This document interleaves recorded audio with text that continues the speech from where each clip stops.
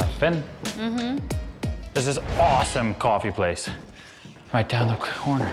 And I got us a blueberry muffin. Oh. Isn't this crazy? I was just like such a Brooklyn guy. Do you like it? I think so. It's pretty nuts. Are you warming up to it? This is so much house. Ah, this is crazy. It's crazy. I just bought a townhouse in Brooklyn. I love it. I mean, the house is perfect. You can move in as is, but I'm gonna renovate it. Maybe extend some of the outdoor space in the back, make a gym downstairs. And I don't wanna like redo the floors and some things, you know, just make it our own. What is it? Open it.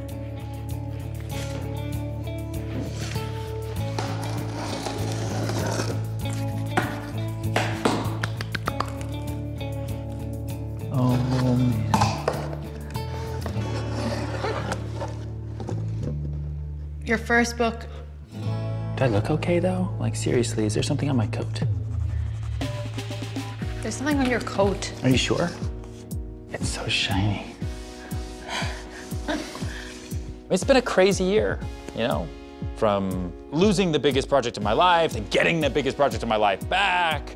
I lost more deals this year than I ever lost, ever before. And I still sold more. We have our own New York City stoop.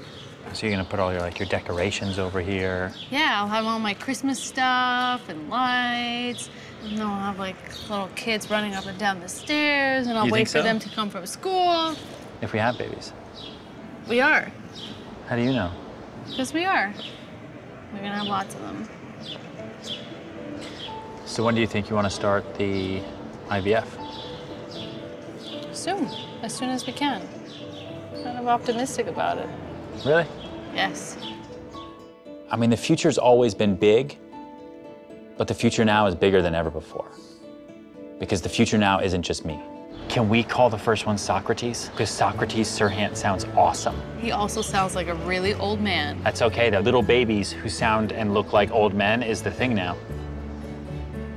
I'll think about that one. Are you trying to scare me No. away from doing this? No. The future now is us and my family on our stoop in Brooklyn.